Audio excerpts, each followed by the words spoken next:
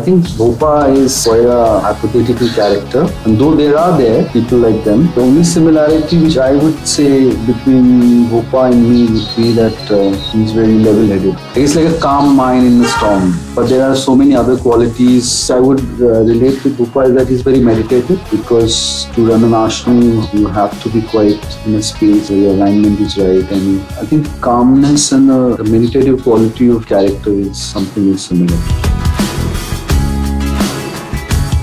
If I could change one thing about my character, I think it's too cold-blooded for the society. I think it could be little warmer. But then also in this, to live in the society, you have to. That's why he is there where he is because he's so cold-blooded. आश्रम नाम से ना लोग विश्वा के साथ खेल सकते हैं ये सच्चे बाबा इसकी बात करना भी मत अंदर कुछ नहीं है सारी कलाई खुल जाएगी The way the character has progressed, people have seen this one side of Popa where he's shrewd, he's calculating, he's very uh, business-minded. ले लीजिए मंत्रिमंडल का मेन्यू कार्ड लोएस्ट प्राइस पैंतीस करोड़ हमें?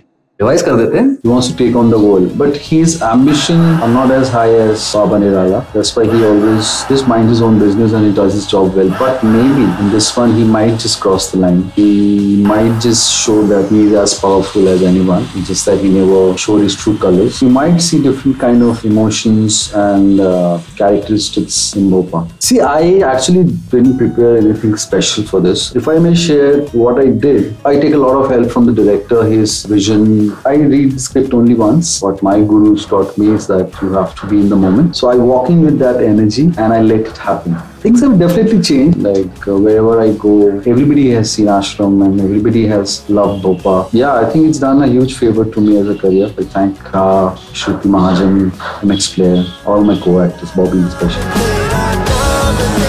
Vimal presents Ek Badnaam Ashram, Bhag 3.